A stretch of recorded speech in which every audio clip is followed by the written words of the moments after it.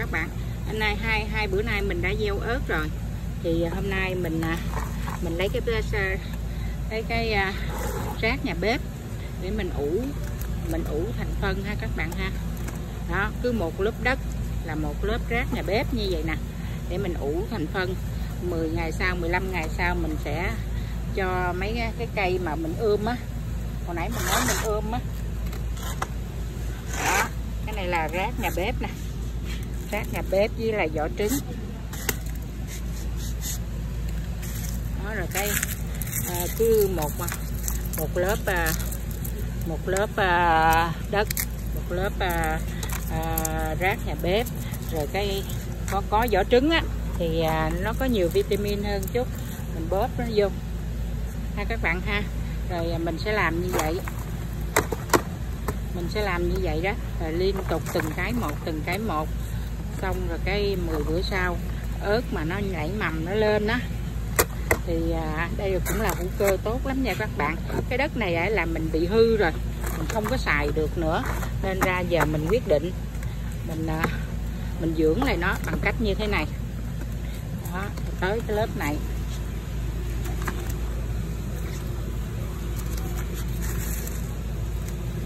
Vậy chứ mà cái vỏ trứng này nó tốt cho đất lắm đó nha. Các bạn nó làm cho đất mình nó khớp nữa. Nó rồi à, mình à, thì này thì này mình quyết định mình làm nhiều thùng hơn. Hôm nay giác nhà bếp mình nó nhiều quá.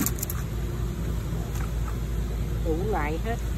Tất cả những cái gì mà mình để với nhà bếp được á, mà mình xài xong rồi đó, mình không có nên bỏ phí. Rồi đất mà mình đã đất mình là giống như cái này nè bà các bạn.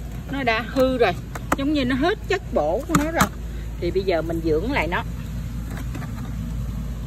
Đó, bằng cách là cứ một lớp đất xong. Đó, một lớp đất xong là cái một lớp à, à, rác nhà bếp của mình. Rồi à, có trứng thì mình bỏ trứng.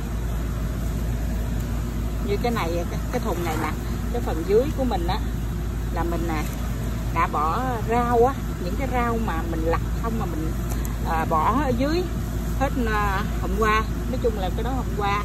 Rồi hôm nay nhà mình có dưa hấu à, vỏ cam. Cái cam này là mình đi à, à, xin à, xin nó mùa covid á giống như người ta phát à, phát ở nhà thờ nó phát cho mình á. Thờ nó phát cho mình rồi cái mình bắt ra mình bỏ trong ngăn đá mình để dành uống từ từ. Thì à, còn dư thì mình sẽ bỏ đây làm cái rác nhà bếp. Làm cái rác mà mình để bón phân. Đó, bây giờ là tiếp tục ha. Mình cho một lớp đất lên. Mà cái lớp đất ở trên á, nên cho dày dày hơn chút xíu. Để cái khu khu vực của mình ở á. Khu vực của mình ở, trời ơi, mấy anh sóc có nhiều lắm. Đó, cái này là mình đã hoàn thành xong nè. Rồi một hồi mình tưới nước lên, mỗi ngày mình tưới nước lên. Để cho nó ủ ở dưới, nó sẽ rã từ từ từ từ ra đó xong rồi đó mình đào độ dày dày nước rồi đó bạn. Đã dày đất rồi đó để rồi mấy anh sóc ở nhà mình. Ôi mấy ảnh nhiều lắm các bạn ơi.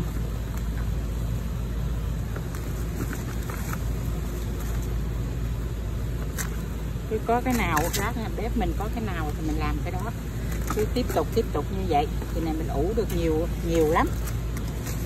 Nhiều chậu lắm. Rồi đổ đất vô đổ đất vô. Cái này cho nhiều lắm.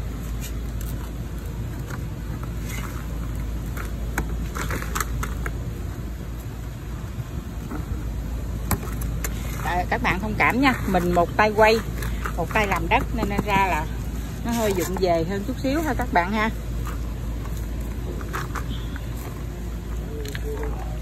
Rồi tới cái thùng này là cái thùng thứ ba.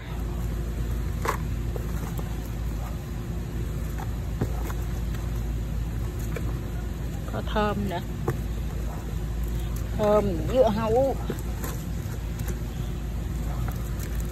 Rau mình lặt dư mình bỏ.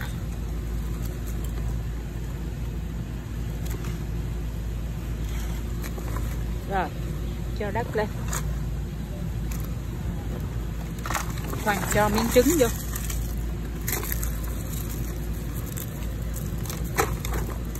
Vậy chứ cái trứng này đặt mình nó làm xốp đất lắm á. Nhưng mà tuyệt đối các bạn đừng có nên mà bỏ xương. Hay là cái nào mà có hột á mình đừng nên bỏ vô tại vì hột nó sẽ nảy mầm. Mà xương á thì mai mốt thứ nhất á, là cái tay mình để vô. Nó nó sẽ bị à, sốc sốc dầm á sốc xương mà đau. Cái thứ hai á là mấy anh à, ở ở ở ở cái cái cái khu đất của mình á mấy anh gia cun á gia cun với sóc con đồ nhiều lắm.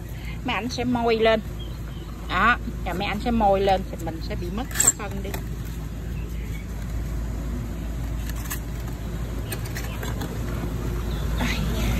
Đó còn miếng đó, mình đổ vô đó hết.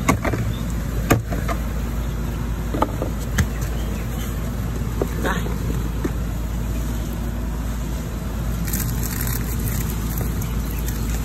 Nhiều lắm các bạn ơi. Hôm nay mình mình bón hồi nãy là được ờ, bốn thùng rồi à, thùng này là thùng thứ năm nè. À, à, các bạn ơi mai mốt bắt cặp các bạn cứ làm như vậy thử như mình coi ra sao rồi cây cối mình nó sẽ tốt hơn không ha? Xin chào các bạn ha các bạn nào mà yêu thích mình á thì à, à hãy à, à, share à, và share và nhấn nút like cho mình một là một like nha. À, mình cảm ơn các bạn nhiều lắm nha. Chúc các bạn một ngày tốt lành và vui vẻ.